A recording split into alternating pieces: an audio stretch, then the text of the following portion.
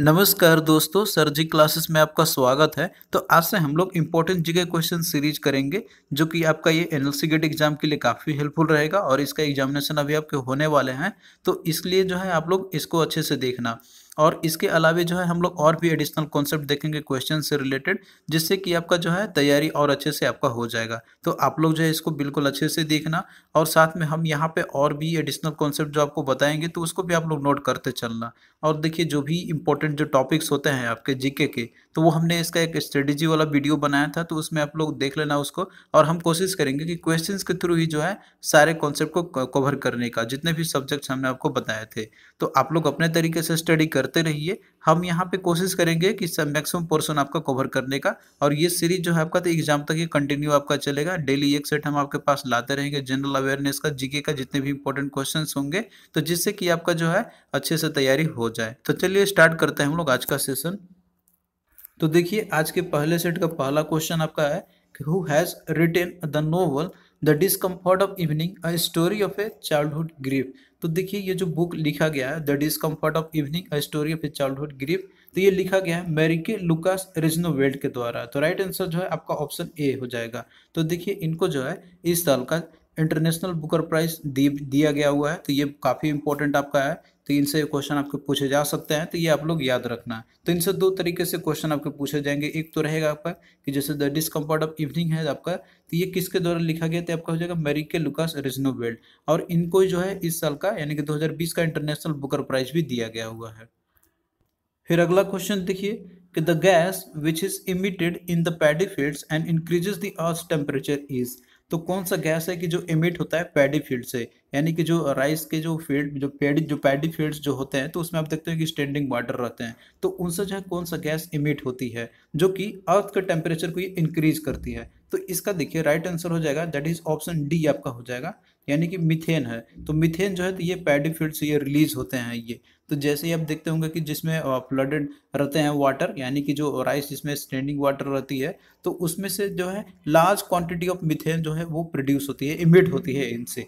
तो ये आप जानते हैं कि जो मिथेन आपका है तो ये एक इम्पोर्टेंट एक ग्रीन हाउस गैस इंपॉर्टेंट मतलब ये ग्रीन हाउस गैस आपका है, जो कि अर्थ के टेम्परेचर को इंक्रीज करता है, क्योंकि ये जो है इसकी प्रॉपर्टी होती है कि ये जो आयर रेडिएशन होते हैं तो उनको ये ट्रैप करती है और इसके बाद जब ये रिफ्लेक्ट करता है अर्थ सरफेस पे तो इससे जो है अर्थ का टेम्परेचर है तो उसमें इंक्रीमेंट होती है। तो जितने भी इम्पोर्ट जितने भी ग्रीन हाउस गैसेस आपके हैं, जो एग्ज़ाम में पूछे जाते हैं आपसे तो आप लोग उनको याद रखना। हमने इसने, हमने इसको जो है इन्वायरमेंट वाले जो क्लास हमने कराया था, आपको उसमें हमने इसको अच्छे से बताया हुआ था। जैसे कि आपके कार्बन डाइऑक्साइड आपका हो गया मिथेन हो गया, इसके अलावा वाटर वेपर हो गया इसके अलावा एन टू आपका हो गया। तो ये सारे जो है आपके जो है ये इनको बोला जाता है green house gas green house gas बोला जाता है, जिसमें कि आपका सी ओ टू एक इंपॉर्टेंट कंपोनेंट आपका होता है ग्रीन हाउस गैस का। तो जिनसे कि ग्लोबल टेम्परेचर जो फिनोमिना आपकी होती है तो वो एराइज होती है। तो अर्थ टेम्परेचर का जैसे इंक्रीज करने में मिथेन का भी एक इंपॉर्टेंट रोल होती है। फिर अगला क्वेश्चन देखिए कि in energy pyramids the energy is dash when moved up on the pyramids तो ये देखिए क्वेश्चन आपका ये दिया हुआ पिरामिड से रिलेटेड आपका है कि ये भी इन्वायरमेंट का ही आपका ये पार्ट है। तो जो एनर्जी की जो पिरामिड होती है तो उसमें एनर्जी का जो लेवल होता है, जब हम लोग ऊपर मूव करते हैं तो इसमें जो है वो एनर्जी जो लेवल होती है तो वो डिक्रीज करती जाती है। तो इसका देखिए राइट आंसर तो ऑप्शन बी आपका हो जाएगा दैट इज़ डिक्रीज हो जाएगा। लेकिन इस कॉन्सेप्ट को समझने के लिए जो आपको पूरा समझना होगा यहाँ पे, जो पिरामिड होती है इकोलॉजिकल पिरामिड होती है तो ये आपका रिलेटेड है इन्वायरमेंट से रिलेटेड आपका है। तो जो इकोलॉजिकल जो पिरामिड होते हैं तो ये शो करता है between the relationship between the जो बायोमास आपका है और साथ में जो प्रोडक्टिविटी होती है एनर्जी का एक डिफरेंट ट्रॉपिक लेवल्स पे आप जानते हैं कि आपने स्टडी किया होगा जो फ़ूड चेन या फिर फ़ूड वेव आपने देखा था उसमें तो उसमें एनर्जी के जैसे फॉलो होती है। पहले प्रोड्यूसर्स होते हैं, उसके बाद फिर जो होते हैं कंज्यूमर्स होते हैं, उसके बाद सेकेंडरी कंज्यूमर टर्सरी कंज्यूमर फिर डिकम्पोजर्स होते हैं। तो इस तरीके से जो एनर्जी की फ्लो होती है एक लेवल से दूसरे लेवल पे तो वहाँ पे जो है उसकी जो एनर्जी के जो परसेंटेज जो होती है तो वो डिक्रीज करते जाती है। तो ये चीज़ अगर आप लोग पिरामिड में देखिएगा तो इन सभी का जो है अलग अलग फिनोमिना अराइज होती है। तो इसमें जो है पिरामिड आपका, इसमें हम लोग शो करते हैं कि जैसे कोई भी ऑर्गेनिजम्स है, यानी कि जो ऑर्गेनिजम्स रहते हैं इसमें तो उनकी संख्या कितनी है? या फिर जो और भी बायोमास रहते हैं तो उनकी संख्या कैसी है? या फिर इसके अलावा एनर्जी है आपका तो एनर्जी का फ्लो जो है उसकी संख्या मतलब कि एनर्जी किस तरीके से घटते या फिर डिक्रीज करते रहती है तो वो चीज़ शो हम लोग करते हैं पिरामिड से। तो पिरामिड देखिए, आपको कुछ इस तरह का शेप होता है तो जब इस तरीके से आपका खड़ा रहेगा तो इसको बोलते हैं हम लोग की अपराइट पिरामिड है। और अगर इसी को अगर हम लोग डाउनवर्ड रखते हैं तो ये आपका इन्वर्टेड पिरामिड का जो है स्ट्रक्चर है आपका। तो इस तरीके से अगर इसमें क्वेश्चन पूछा था पिरामिड ऑफ़ नंबर का पिरामिड ऑफ़ बायोमास का, और एक आपका पिरामिड ऑफ़ एनर्जी की रहती है। तो नंबर की बात करते हैं तो इसमें बहुत सारे ऑर्गेनिजम्स आपके होते हैं नंबर ऑफ़ इंडिविजुअल्स होते हैं, जो कि एक सक्सेसिव ट्रॉपिक लेवल पे रहती है, इनकी संख्या कितनी है। तो ये जो है आपका ये अपराइट भी हो सकता है और इन्वर्टेड भी हो सकता है डिपेंड करता है कि वो आपका किस टाइप का वो दिया हुआ है। मतलब कि जो है इकोसिस्टम के अंदर में कौन से ऑर्गेनिजम्स किस लेवल पे रहते हैं तो वो उसके बेसिस पे डिपेंड करता है। और वहीं पे जो सेकेंड आपका पिरामिड ऑफ़ बायोमास का आपका है तो पिरामिड ऑफ़ बायोमास जो रहता है तो सक्सेसिव ट्रॉपिक लेवल पे जो बायोमास की जो क्वांटिटी है इनकी तो वो कितनी है, वो डिपेंड करता है आपका इन पे। तो ये भी आपका ऑपरेट या इन्वर्टेड दोनों हो सकता है। और वही देखिए, जो पिरामिड ऑफ़ एनर्जी जो आपका रहता है तो ये शो करता है कि रेट ऑफ़ एनर्जी फ्लो यानी कि एनर्जी फ्लो और प्रोडक्टिविटी कितनी होती है सक्सेसिव ट्रॉपिक लेवल पे। तो ये चीज़ उससे हम लोग दिखाते हैं। तो इसको हम लोग ऑलवेज अपराइट पोजिशन में हम लोग दिखाते हैं। तो ये तो आपका जैसे हो गया पिरामिड के लेवल पे हिसाब से कि कैसे हम लोग इसको रखते हैं। बट यहाँ पे जो क्वेश्चन आपको पूछा था, वो इको से रिलेटेड रहती है कि अगर मान लीजिए वेरियस इकोसिस्टम आपका रहेगा, जिसमें कि मान लीजिए कोई अगर ग्रासलैंड इकोसिस्टम है और कुछ आपके रहेंगे, जैसे पोन्ड इकोसिस्टम है तो उस केस में जो पिरामिड रहेगा आपका डिफरेंट चीज़ों के लिए, जैसे नंबर की हम बात करते हैं यहाँ पे तो नंबर ऑफ़ जितने भी ऑर्गेनिजम्स होते हैं ग्रासलैंड इकोसिस्टम में तो इसमें आप देखिएगा कि जो पिरामिड रहता है, इनका ग्रासलैंड इकोसिस्टम का ये अपराइट आपका रहेगा। क्योंकि जो ग्रासलैंड इकोसिस्टम आपका रहेगा तो इस केस में जैसे ही ऊपर का लेवल यानी कि इंक्रीज होता है, हर एक ट्रॉपिक लेवल पे तो इनमें है डिक्रीमेंट होते जाती है। और वहीं पे हम बात करते हैं पॉन्ड इकोसिस्टम में तो इसमें भी जो नंबर रहती है, जो भी ऑर्गेनिजम्स रहते हैं, हर एक लेवल पे तो इनका भी डिक्रीमेंट होते जाती है, यानी कि आपका भी अपराइट पोजिशन पे आपका रहता है ये। हालाँकि हमारा देखिए मेन जो पोर्शन था आपका यहाँ पे समझाने का तो वो आपका था यहाँ पे पिरामिड ऑफ़ एनर्जी का। तो एनर्जी का देखिए यहाँ पे कॉन्सेप्ट क्या रहता है? पिरामिड का तो आप जानते हैं, सबसे पहले ये तो आपका एक मतलब कि जो अपराइट पोजीशन पे रहता है अगर इस तरीके से पोजीशन है पिरामिड का दिया आपका हो गया अपराइट पोजीशन का। लेकिन जो एनर्जी की जो लेवल होती है, जैसे ही आप मतलब कि एक ट्रॉपिक लेवल से ऊपर आप इंक्रीज करते आती है टॉप लेवल पे आप मूव कीजिएगा ऊपर में तो आप देख रहे हैं कि जो एनर्जी की जो परसेंटेज होती है तो वो डिक्रीज करती आती है। सबसे ज़्यादा एनर्जी रहती है तो वो प्राइमरी जो प्रोड्यूसर्स होते हैं तो उनके पास जो एनर्जी रहती है डायरेक्ट उनके पास सन से ऑप्टेंट होती है और इनके पास हंड्रेड परसेंट एनर्जी स्टोर रहती है। लेकिन यही अगर जो आपका है प्राइमरी प्रोड्यूसर से अगर मान लीजिए कोई प्राइमरी कंज्यूमर्स होते हैं, यहाँ पे उनसे एनर्जी ट्रांसफ़र होती है, क्योंकि हम लोग डिपेंडेंट होते हैं कंज्यूमर्स के ऊपर में तो यहाँ पे एनर्जी घट जाएगी और वो टेन परसेंट हो जाएगी। और वहीं फिर प्राइमरी कंज्यूमर कंज्यूम करने वाले सेकेंडरी कंज्यूमर्स रहेंगे तो इनके एनर्जी जो है तो सिर्फ़ वन परसेंट ही मिलती है। उसके बाद फिर और भी थर्ड लेवल पे जाएगा तो और डिक्रीमेंट आपका होगा और फिर जो लास्ट में जाएगा तो और डिक्रीमेंट होती है, होते जाती है। तो इस तरीके से एनर्जी का जो फ्लो आपका रहता है यहाँ पे, यदि हम अपराइट में मूव करते हैं, हम लोग ऊपर की तरफ़ मूव करते हैं तो इसमें है डिक्रीमेंट होते जाती है। जैसे कि क्वेश्चन में आपसे पूछा गया था तो आई होप कि अब आप लोग जो है ये सब चीज़ को आप समझ गए होंगे। और वहीं पे अगर इसे इस तरीके से पूछा जाए कि जब हम लोग टॉप से बॉटम मूव करेंगे तो इसमें एनर्जी क्या होगा तो वो आपको इंक्रीज करता जाएगा। फिर अगला क्वेश्चन देखिए कि which of the following five year plan is also called as the Gadgil योजना तो कौन सा फाइव ईयर प्लान था कि जिसे हम लोग गेटजिल योजना भी बोलते हैं हम लोग? तो ये देखिए हुआ था थर्ड फाइव ईयर प्लान में। तो जो third five year option B आपका करेक्ट हो जाएगा इसमें। तो जो थर्ड फाइव ईयर प्लान था तो ये इसका ड्यूरेशन था आपका 1961 से लेकर 1966 1966 के बीच में, जो कि जवाहरलाल नेहरू जी की लीडरशिप में की जो है फाइव ईयर प्लान ऑर्गेनाइज की गई थी। तो इसमें देखिए जो प्लान था तो ये जैसे तैयार किया गया था, ये डिप्टी चेयरमैन थे प्लानिंग कमीशन के डॉक्टर जी आर गेडजिल तो इनके द्वारा जो ये तैयार किया मतलब ये प्लान तैयार की गई थी तो इसलिए इसको बुलाता है गेडजिल योजना। तो यहाँ पे देखिए जितने भी फाइव ईयर प्लान्स थे, जो कि इम्प्लीमेंट किए गए थे, और जब से इनकी शुरुआत होती है, और जब से इनका आखिरी था तो इनमें से आपके मेजर इसमें से जो जो थीम होते हैं, वो आपसे पूछे जाते हैं। कि बेसिकली जो जो भी फाइबर प्लांट्स होते हैं तो उसके एक थीम होता है, वो क्या रखी गई थी? तो स्टार्टिंग में जब प्लानिंग कमीशन जब इसकी फॉर्मेशन की गई थी तो जो कि पहला आपका था 1951 से लेके 1956 तक तो इसमें मेजरली जो थीम रखा गया था तो वो एग्रीकल्चर डेवलपमेंट को रखी गई थी। तो ये आपसे क्वेश्चन अब पूछा जाता है तो ये आप लोग जो है याद रखना। और वहीं पे देखिए जो सेकंड जो फाइव ईयर प्लान था तो 1956 से लेकर 1961 के बीच में थी। तो ईयर भी आपसे पूछा जाता है तो ये भी आप लोग याद रखना कि कौन सा फाइव ईयर प्लान कौन सा ईयर में इंप्लीमेंट किए गए थे। तो इसमें फोकस किया गया था इंडस्ट्रियलाइजेशन पे मोस्टली हैवी इंडस्ट्री पे फोकस की गई थी। और वहीं हम बात करते हैं थर्ड फाइव ईयर प्लान का जैसे गोडजिल योजना भी बोला जाता तो ये 1961 से लेकर 1966 के बीच में थी। तो इसमें भी जो है हेवी और बेसिक इंडस्ट्री ही फोकस किया गया था और साथ में self sufficiency in food grains पर भी जो है फोकस की गई थी। और वहीं पे देखिए, फिर बीच में जो है कुछ रीजन के चलते यहाँ पे फिर एक दूसरे प्लान आती है, यहाँ पे प्लान हॉलीडे आता है आपका, जो कि एक एनुअल प्लान होता है। तो यहाँ पे जो है कुछ समय के लिए जो फाइव ईयर प्लान थी तो उसको टर्मिनेट कर दी गई थी। फिर उसके बाद 1966 से लेकर 1969 के बीच में तो जो था आपका यहाँ पे प्लान हॉलीडे यानी कि एनुअल प्लान इंप्लीमेंट की फिर नेक्स्ट देखिए, जो फिफ्थ फाइव ईयर प्लान था तो इसकी ड्यूरेशन थी 1974 से लेके 1979 तक। तो इसमें जो मेजर जो फोकस किया गया था तो वो था आपका गरीबी हटाओ पे, यानी कि इसमें नारा दिया गया था गरीबी दूर करने के लिए। पोवर्टी एलिवेशन ये एक मेजर थीम था फिफ्थ फाइव ईयर प्लान का, जो कि आपका काफ़ी इंपॉर्टेंट है और ये बहुत बार, बहुत सारे एग्ज़ाम में ये पूछा गया था। और इसी समय जो है इमरजेंसी भी लगी थी तो ये आपका काफ़ी इंपॉर्टेंट है और ये ड्यूरेशन भी आपसे पूछा जाता है ये। फिर उसके बाद देखिए, यहाँ पे जो है फिर से नया प्लान इंप्लीमेंट किया रोलिंग प्लान आई थी फाइव ईयर प्लान के जगह पे। तो यहाँ पे रोलिंग प्लान किया गया था जनता पार्टी के द्वारा। यहाँ पे कुछ समय के लिए जो है, जो जो फाइव ईयर प्लान थे तो वो उसको जो है टर्मिनेट की गई थी। तो यहाँ पे फिर से आपका पीरियड जो ड्यूरेशन रहता है, इसका नाइनटीन से लेके एटी तक। तो ये आप लोग याद रखना इसको। फिर देखिए जो सिक्स फाइव ईयर प्लान था तो इसका ड्यूरेशन था 1980 से लेके 1985 के बीच में। तो इसमें भी जो है पोवर्टी एलिवेशन एक मेजर इशू था, इसमें मेजर थीम था, और साथ में एम्प्लॉयमेंट जनरेशन का ये दो चीज़ थे मेजर फोकस किए गए थे fifth six five year plan के दौरान। फिर अगला देखिए, जो सेवन फाइव ईयर प्लान था तो इसका जो टाइम पीरियड था 1985 से लेकर 1990 के बीच में। तो इसमें भी जो फोकस किया गया था आपका तो वो था फ़ूड और वर्क एंड प्रोडक्टिविटी पे। तो इधर आपके देखिए, उतने नहीं ज़्यादा पूछे जाते हैं। कि इसमें मेजर थीम क्या था? बस आपसे ये पूछ सकते हैं कि जो ईयर, जो ड्यूरेशन था इसकी, वो कितना था आपका? मेजरली जो फ़र्स्ट, सेकंड, थर्ड जो रहते हैं और जो फिफ्थ ईयर प्लान आपका था, जिसमें गरीबी हटाओ था और तो वो आपसे पूछा जाता है और लास्ट में जो आखिरी के जो प्लान प्लान थे आपके तो वो चीज़ आपसे, आप लोग याद रखना, वो पूछे जाते हैं। फिर इसके बाद देखिए, जो सेवन फाइव ईयर प्लान था, इसके बाद फिर से जो है प्लान हॉलीडे इम्प्लीमेंट किया गया था जो कि फिर फाइव ईयर प्लान के जगह पे तो इनका ड्यूरेशन था 1990 से लेकर 1992 के बीच में।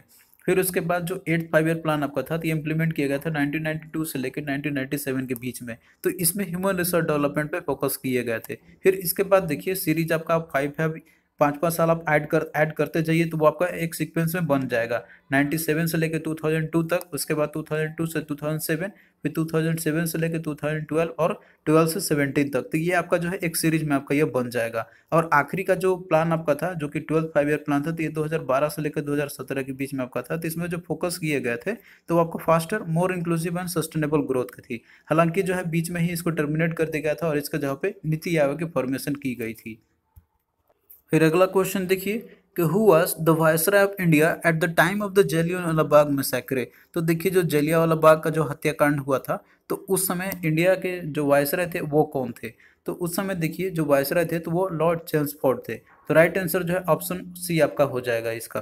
तो इन्हीं के कार्यकाल में जो है, जो जलियाला बाग जो मैसेकर जो हुआ था तो इसमें जो है बहुत सारे लोगों की डेथ हुई थी। तो ये जो हुआ था आपका एक ये अप्रैल थर्टीन को हुआ था 1919 में। तो ये ईयर आप लोग याद रखना 1919 में जलियाला बाग मैसेकर हुई थी। तो इनसे देखिए बहुत सारे क्वेश्चन आपके पूछे आते हैं। जितने भी चाहे वो वायसराय आपके हो या फिर गवर्नर जनरल हो तो उनके कार्यकाल के दौरान कौन कौन से मेजर इवेंट्स हुए थे तो वो चीज़ आपसे पूछे जाते हैं क्वेश्चन और साथ में जितने भी इंपॉर्टेंट जो इवेंट्स हुए थे तो उनका ईयर आपसे पूछा था डेट तो नहीं है पूछा, लेकिन ईयर आपसे ज़रूर पूछे जाता है। जैसे जलियावाला बाग मसाकर आपका ईयर नाइनटीन नाइनटीन में हुआ था। इसी तरीके से चौरी चौरा इंसिडेंट आपका हो गया, स्वदेशी मूवमेंट हो गया नॉन कॉपरेशन मूवमेंट हो गया तो इन सभी को जो है आप लोग अच्छे से पढ़ लेना। हालाँकि इस पर भी हम आपको जो है वीडियो बना के दे देंगे या फिर इनका जीके में नोट्स करके आपको हम बना के दे फिर नेक्स्ट क्वेश्चन देखिए कि who introduce the subsidiary alliance तो सब्सिडरी अलायंस ये किसने इंट्रोड्यूस किया हुआ था?